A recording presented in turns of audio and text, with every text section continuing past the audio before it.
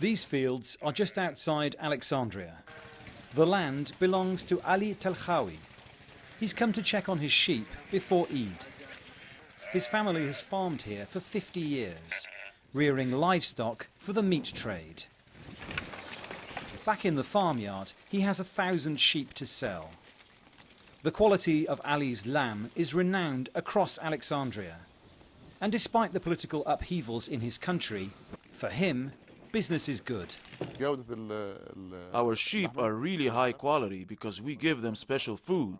So when someone eats our lamb, they'll always come back for more. The animals being fed here have been marked for sale at meat markets in Alexandria.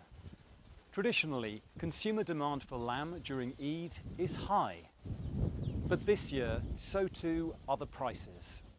Each animal on Ali's farm is worth more than $200.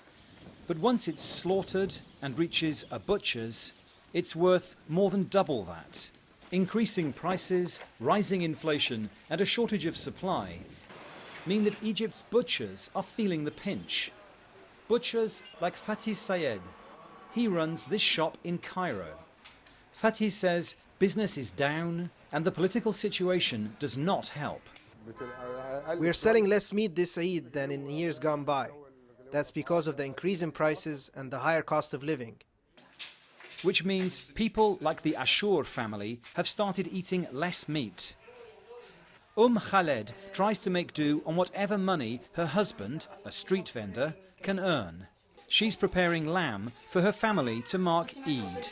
But this is a special treat. Normally, they can afford meat only two or three times a month. Eid is a lot different for us this year. Last year prices were affordable, but now meat has become very expensive. I hope the government can reduce the prices a little.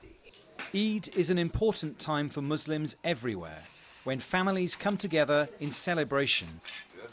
But this year in Egypt, political uncertainty and rising prices have given it an uncertain flavour.